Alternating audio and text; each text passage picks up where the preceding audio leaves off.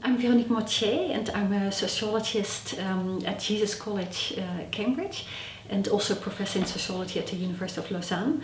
And I'm going to talk to you today about a conference um, uh, which we're organizing on 4 and 5 July of this year, 2013, uh, together with my uh, colleague Robbie Duschinsky, uh, who is a lecturer in sociology and social work at the University of Northumbria. And um, the, the, idea of the conference grew out of a shared research interest that we both have um, on, in sexual classifications. Uh, sexual classifications are that whole set of discourses, legal discourses, religious discourses, um, psychiatric discourses, medical discourses, and so on, um, which categorize certain types of sexual behaviors as either normal or abnormal. And to just take one example of that, uh, if we take the example of homosexuality, same-sex behavior, same-sex interactions in the UK, then we know that in past times in history, uh, same-sex interactions were variously uh, considered to be uh, either a form of uh, immoral behavior, a form of sin, uh, or a, form of a disease, a mental disorder, for example, mental illness, uh, or the result of a hormonal imbalance or an imbalance in the brain or whatever biological reasons were put forward to explain it. And same-sex behaviors were also seen as um, a form of criminal behavior. And very often all of these different discourses were happening, were, were at work at the same time. It's only in very recent decades uh, that we've witnessed the process of declassification of homosexuality, uh, which is now seen as you know, one behavior amongst others. Um, and yet the legal consequences, the, the social consequences of these past uh, understandings are, are still at work today. So we're still working through the sort of impact of these, these past historical discourses on uh, same-sex behaviors.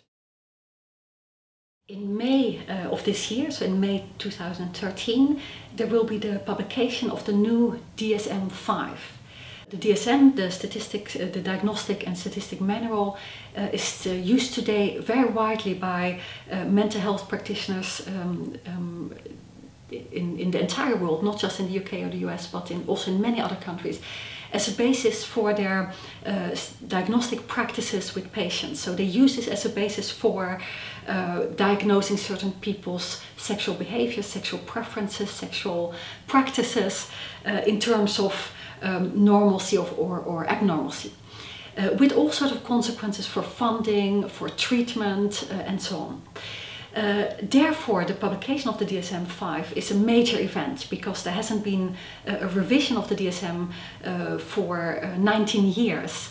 Um, and the whole process of revision of the DSM, uh, which has led to this uh, upcoming publication in May, has itself already been the subject of many, many controversies in the media and elsewhere.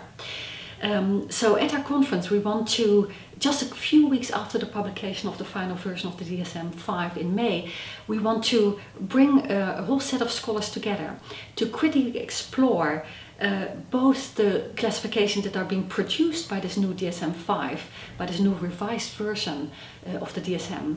uh, and we also want to uh, try to ask some wider theoretical questions uh, more precisely, and I think that's one of the uh, originalities of our conference, we want to bring together both some of the scholars uh, such as Ken Zucker or Cynthia Graham, who have been very heavily involved in the working groups that have produced the material for writing the DSM, uh, and other scholars which um, develop in many different ways and in many different disciplines uh, critical analysis of sexology and of psychiatry. So with major figureheads of these, uh, of these kind of approaches, uh, such as uh, Eric Fassin, Alain Giami, uh, Jeffrey Weeks, uh, Lisa Downing, and, and many others. So with our conference we're hoping to pursue two aims. Uh, firstly, uh, we would like to explore the revised categories of sexual normality and abnormality that the DSM-5 is producing uh, with speakers such as Patrick Singy, uh, Alain Giami and Lisa Downing. and secondly, we want to also open up the debate towards wider critical questions about uh, social change around sexuality more generally, uh, with talks about, for example, um, the role, the way in which um, uh, ideas about uh, normal sexuality and abnormal sexuality are used today, are mobilized today in uh, controversies around immigration in France, for example, today, with a talk by Eric Fassin from Paris or the way in which um, wider processes of gender assignment are operating in society today. For example, more precisely, the way in which babies at birth are being uh, classified as either female or male, especially in those cases where this is uh, biologically not always very obvious, right? So we're very interested in also having speakers who will uh, talk about that more generally because the DSM will also have something to say about that and will sort of bring together the more specific contribution of the DSM to this question with wider critical analysis of the way in which these practices have been evolving over the past, uh, over the past few decades. The conference will close with a talk by Jeffrey Weeks, who's one of the founding persons of critical analysis of sexology in the UK. Uh, who will give a very exciting talk um, where he will explore the possibility to go beyond classification. So he will basically ask, can we do without classifying at all? Uh, could we imagine a society in which we live uh, in, in which there would be no sexual uh, labels at all? And if so, what would it look like? So as you can see, this will be a very exciting event which will bring, bring together extremely interesting speakers from a very different range of disciplines and perspectives. Uh, and we hope that the public will also reflect this. So we invite um, uh, people to sign up for this from all sorts of different backgrounds, from activist backgrounds to uh, practitioners, perhaps NHS practitioners, uh, to uh, just wider public who might have an interest in, in these kind of questions.